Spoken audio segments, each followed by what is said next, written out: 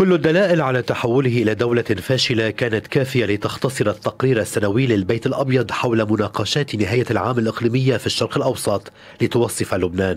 فذكر مسؤول كبير في الإدارة الأمريكية أن أمرا واحدا تحاول الولايات المتحدة التأكد منه هو أن لا يكون هناك المزيد من الدول الفاشلة في منطقة الشرق الأوسط. مشيرا إلى أن الدول الفاشلة تودي إلى فراغ وهذا الفراغ لا يملأه المعتدلون بل المتطرفون من كل الجوانب ويصبح هناك نوع من المعارك بالوكالة من قبل القوى الإقليمية.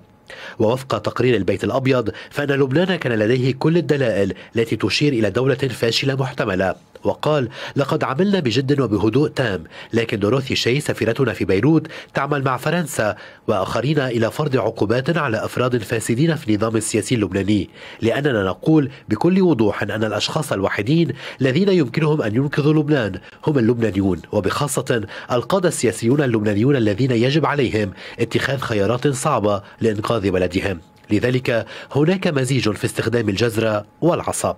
وتابع المسؤول أن لدى لبنان الآن حكومة جديدة بقيادة رئيس الوزراء نجيب ميقاتي ونحن على اتصال وثيق معه. متحدثا عن زيارة وكيلة وزارة الخارجية للشؤون السياسية فيكتوريا نولند إلى بيروت كما زيارة كبير المستشارين لأمن الطاقة العالمي في وزارة الخارجية عاموس هوكستاين إلى بيروت. وأوضح أن هوكستاين عمل على صفقة غاز مهمة جدا بين مصر ولبنان بدعم من البنك الدولي وهي قيد التنفيذ. ونعتقد أنها مهمة جدا للحفاظ على الاستقرار ومحاولة إخراج لبنان من الأزمة التي يعيشها.